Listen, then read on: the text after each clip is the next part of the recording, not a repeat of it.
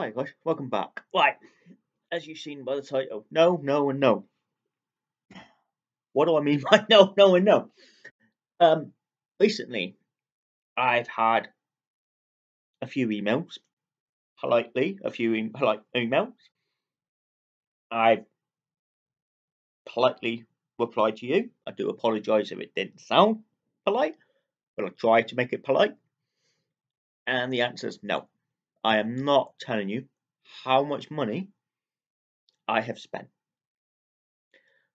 I don't want to tell you. I don't need to tell you. And most of all, why do you need to know? That's the bit I don't understand. It's why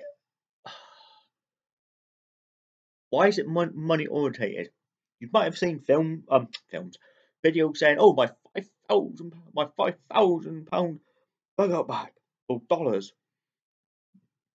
That's their choice. But no, I will never tell you how much money I've spent. That is no one's business.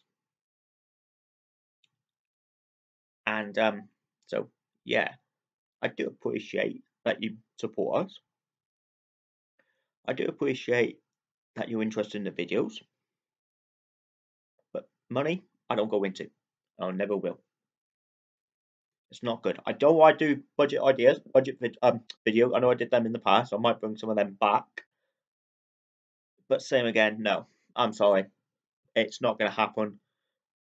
And I do apologise if it does sound like I'm being horrible. If you want to look into things and do things, you need to do that yourself. Because I'm never, ever going to go into money situations like that. I don't mind doing some more budget ideas I, items. I will be doing some more of them coming up soon. But everything else, I'm sorry, no. I'm not talking about money on these on this channel.